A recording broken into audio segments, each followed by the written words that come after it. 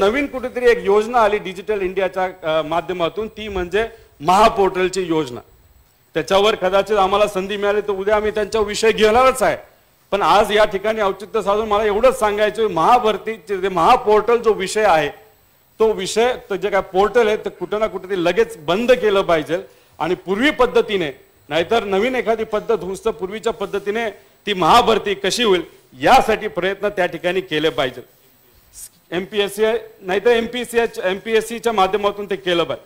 Skill डेव्हलपमेंटचा विषय अतिशय महत्त्वाचा आहे साहेब. जी मुलं शिकू शकली नाही बारावी पास आहेत अकरावी पास आहेत नापास आहेत त्या लोकांना स्किल डेव्हलपमेंट केल्याशिवाय गत्यंतर नाही. नाहीतर त्यांना काय करायचं कुठं जायचं या गोष्टी आपल्याला कळणार नाही. गेल्या पाच वर्षामध्ये हजारो कोटी माझ्याकडे आकडा नाही पण जो आयक्यू आकडा माझ्यासमोर आहे तो तीन ते चार हजार कोटी खर्च करून त्या ठिकाणी जे स्किल डेव्हलपमेंट सेंटर आपल्या राज्यामध्ये उभे केले गेले बावीसशे सेंटर होते. त्याच्यामध्ये बावीसशेच्या बावीसशे सेंटर आज बंद झालेले दिसतात. ते कुठेतरी चालू केले पाहिजे. त्यांच्या योजनेच्या अनुसार नाही पण त्याच्यामध्ये अभ्यास केला पाहिजे आणि योग्य पद्धतीने ते आपल्याला कसे चालू करता येईल याच्यासाठी प्रामाणिकपणे प्रयत्न हे आपण सर्वांनी केले पाहिजे. त्यानंतर इज ऑफ डुईंग बिझनेस हा एकदम गोंड शब्द हा वापरला जातो. पण आज जर आपण बघितलं तर आपला आपलं राज्य हे इतर राज्यापेक्षा त्या बाबतीत खूप मोठ्या प्रमाणे मागे पडलेलं हे दिसतं आहे. तर याच्यामध्ये महाराष्ट्राचा विकास जर महाराष्ट्र हे पहिल्या दोन ते तीन नंबरमध्ये नेहमी विकासाच्या दराच्या बाबतीत असायचं. आज साडेसात टक्क्याली आपलं राज्य हे कुठं तर वाढताना त्या ठिकाणी आर्थिकदृष्ट्या वाढताना त्या ठिकाणी आपल्या सर्वांना दिसतंय. आणि अख्ख्या देशामध्ये आपण जर बघितलं तर पूर्वी आपण तीन ते चार नंबरला असणारं राज्य आज तेराव्या नंबरला गेलेलं आपल्या सर्वांना ठेवलंय. मगाशी कुणी म्हणलं कुठं नेऊन ठेवलं आपला महाराष्ट्र? या बाबतीत ते कुठं ना कुठेतरी सिद्ध होतं विकासाच्या बाबतीत. त्यानंतर एफडीआय एफडीआयमध्ये सातत्याने अनेक वर्ष आपण एकदम अभिमानाने सांगत होतो की आपलं राज्य हे देशामध्ये एक नंबरचं राज्य आहे.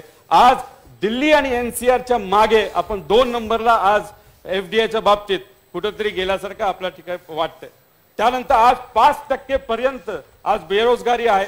त्याच्यामध्ये जर एक खोलात जाऊन आपण बघितलं जी मुलं कुठे ग्रॅज्युएटेड पोस्ट ग्रॅज्युएटेड त्यांच्या बाबतीत दहा टक्केची बेरोजगारी आपल्याला त्या ठिकाणी दिसती. त्याचा अर्थ मी बँकेत जातो. बँकेत गेल्यानंतर मी लोन घेतो. त्यानंतर मी इंजिनियर होतो. इंजिनियर झाल्यानंतर पैसे खर्च केल्यानंतर माझा बाप जर शेतकरी असेल तर त्या ठिकाणी त्यांनी कष्ट करून मला शिकवल्यानंतर आज मला तीन तीन वर्ष चार चार वर्ष वन वन फिरावं लागतं डिग्री असताना सुद्धा. आणि ती टक्केवारी आज कुठेतरी दहा टक्क्याच्या आसपास आपल्या सर्वांना त्या ठिकाणी दिसते. त्याच्यानंतर महापोर्टलबद्दल आदरणीय मोदी आपल्याला सांगितलं. कारखान्याची संख्या मला माहीत नाही मग अशी कुठली आकडेवारी काढली गेली. आदरणीय विरोधी पक्ष नेत्यांनी सांगितले छत्तीस लाख नोकऱ्या गेल्या पाच वर्षामध्ये का एक वर्षामध्ये दिल्या. छत्तीस लाख हा आकडा हा खरा आकडा नाही असं माझ्यासारख्या कार्यकर्त्याला वाटतं. तो आकडा तिथं शायनिंग महाराष्ट्र का कुठला महाराष्ट्र माहीत नाही. त्यांनी गोंडस नाव त्या ठिकाणी काढलं होतं. त्याच्यामध्ये उद्दिष्ट हे छत्तीस लाखाचं ठेवलं गेलं. त्याचा अर्थ इथं जो आकडा तुम्ही सर्वांनी सांगितला गेला तो आकडा तुमचा आकडा होता हा खरा आकडा नाही. आणि कारखान्याची संख्या जर अध्यक्ष महोदय आपण बघितली दोन हजार अकरा पासून अठरा पर्यंत सातत्याने दरवर्षी दहा टक्के हे कारखाने बंद होत चालले आहेत. त्यामुळे याच्याकडे लक्ष देण्याची जरूरत आहे. आणि आदरणीय राज्यपाल साहेबांनी तो मुद्दा त्यांच्या भाषणामध्ये घेतला. त्यासाठी मी मनापासून त्याचं अभिनंदन या ठिकाणी करतो. अध्यक्ष महोदय एज्युकेशनच्या बाबतीतला मुद्दा पाचच पाचच मिनिटं साहेब. नवीन आहे बोलू द्या.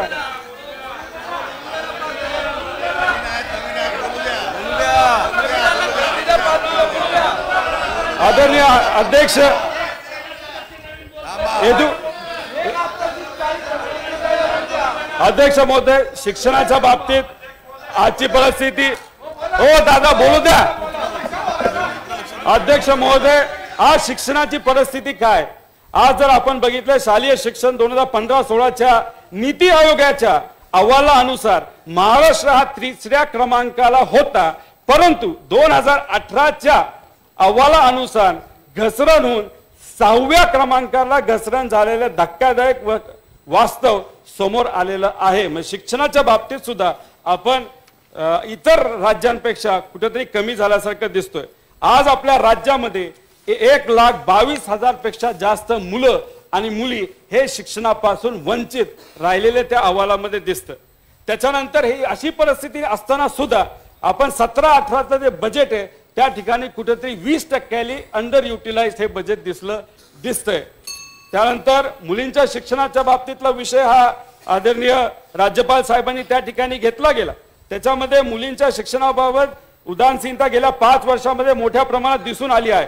मुलीं मुलींना मिळणारा भत्ता अहिल्यादेवी होळकर योजना कस्तुरबा गांधी बालिका विद्यालय तसेच अकरावी व बारावी वेतन अशा वेगळ्या वेगळ्या योजनेच्या माध्यमातून जर आज बघितलं तर दोन हजार सतरा अठरा डिसेंबर पर्यंत सहा लाख बावीस हजार लाभार्थी विद्यार्थ्यांची घट हो हो झालेली आपल्या सर्वांना त्या ठिकाणी दिसते. त्यानंतर आदरणीय अध्यक्ष महोदय पाच मिनिटं झालं. पाच मिनिटं आदरणीय. झाले पंधरा मिनिट झाले. अध्यक्ष साहेब अध्यक्ष साहेब माझं एवढंच म्हणणं आहे की आम्ही मुद्द्यावर बोलतोय मुद्द्यावर फक्त बोलू त्या विषय संपवतो. वेगळं काही बोलणार नाही. ज्याच्यामुळे कोणाला त्रास होईल असं काही बोलणार. बाकीच्या सदस्यांचा कमी करतो मग वेळ.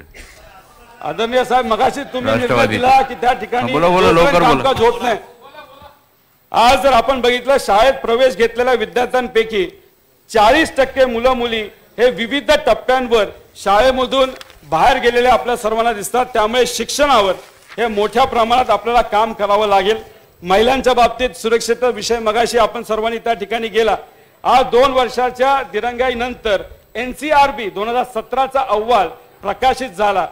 महिलांवर होणाऱ्या अत्याचारांचे प्रमाण हे दोन हजार सोळाच्या तुलनेत सहा टक्क्यांनी वाढलेले हे आपल्या सर्वांना त्या ठिकाणी दिसतंय. आणि एनसीआरबी दोन हजार सतराच्या अहवालानुसार महिला अत्याचारात महाराष्ट्रात देशात दुसऱ्या नंबर आहे. त्यामुळे अशा गोष्टी जेव्हा त्या ठिकाणी बाहेर येतात तेव्हा माझी बहीण असेल माझी आई असेल माझी ओळखीचं कुणी असेल तर त्या रोडवर फिरत असताना कुठं ना कुठंतरी आम्हाला त्या ठिकाणी भीती ही वाटते. त्यामध्ये बलात्कार असेल अपहरण असेल विलयभंग असेल लैंगिक छळ असेल असे अनेक मुद्दे त्या ठिकाणी आहेत. बचत गटाचा मुद्दा पण मोठ्या प्रमाणात त्या ठिकाणी घेतला आहे. त्याच्यावर पण काम करायला पाहिजे असं माझ्यासारख्या कार्यकर्त्याला त्या ठिकाणी वाटतं. महिला वसतिगृहाचा पण विषय हा आदरणीय राज्यपाल साहेबांनी घेतला. तोही महत्त्वपूर्ण आहे. अंगणवाडी सेविका व आशाताईंचा मुद्दा अतिशय महत्त्वाचा आहे. का ते सुद्धा राज्यामध्ये काम करत असताना बालकांसाठी कष्ट हे घेत असतात. आदरणीय महोदय आरोग्याचा विषय अतिशय महत्त्वाचा आहे. तो नमूद करतो आणि दोन तीन विषय करतो आणि विषय संपवतो. पाच मिनिटं दोन मिनिटं तीन मिनिटं लागतील फक्त. आरोग्याचा विषय साहेब त्यानंतर आपला जर आरोग्य व महिला बाल कल्याणवरचं लक्ष जर आपण त्या ठिकाणी दिलं तर आपल्या राज्यामध्ये होणारे बाल मृत्यू असेल कुपोषण असेल मातांचा मृत्यू असेल हा कमी झाल्याशिवाय त्या ठिकाणी राहणार नाही.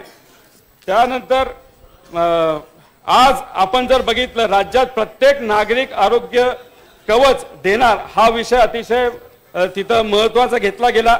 दोन हजार नऊ महात्मा फुले जीवनदायी योजनेच्या माध्यमातून आजपर्यंत अनेक लोकांना त्याचा फायदा झाला. याच्यावर नक्कीच उद्याच्या काळामध्ये हे काम करायला पाहिजे. त्यानंतर सर्व जिल्ह्यांमध्ये टप्प्याटप्प्याने तिथं सुपर स्पेशालिटी हॉस्पिटल काढलं जाईल. गेल्या पाच वर्षामध्ये राज्यामध्ये एक सुद्धा सुपर स्पेशालिटी हॉस्पिटल या सरकारकडनं आजपर्यंत चालू केलेलं नाही. थँक्यू शेवटचा शेतकऱ्याचा मुद्दा साहेब. अध्यक्ष महोदय शेवटचा प्रश्न. आज कृषी क्षेत्राच्या बाबतीत बोलायचं झालं तर अनेक लोकांनी ते विषय त्या ठिकाणी मांडलेले आपल्याला बघितलं. आपल्या राज्यामध्ये साठ टक्केपेक्षा जास्त लोकसंख्या ही ग्रामीण भागामध्ये देशामध्ये राहते. आज महाराष्ट्राची ॲग्रिकल्चर ग्रोथ जर बघितली ती पॉईंट फोर पर्सेंटच्या आसपास आहे. आणि देशाची बघितली वन पॉईंट फाईव्ह पर्सेंटच्या आसपास आहे. त्याचा अर्थ सात टक्के लोक ज्या गोष्टीवर आपलं दैनंदिन जीवन चालवतात त्याच्यामध्येच आपल्या राज्यामध्ये ग्रोथ ही पॉईंट फाईव्ह पर्सेंटच्या आसपास ही आपल्याला जाणवते. त्यामुळे अध्यक्ष महोदय अतिशय महत्त्वाचे मुद्दे त्या ठिकाणी घेतले गेले. आणि शेवटचा मुद्दा बोलतो आणि मी खाली बसतो.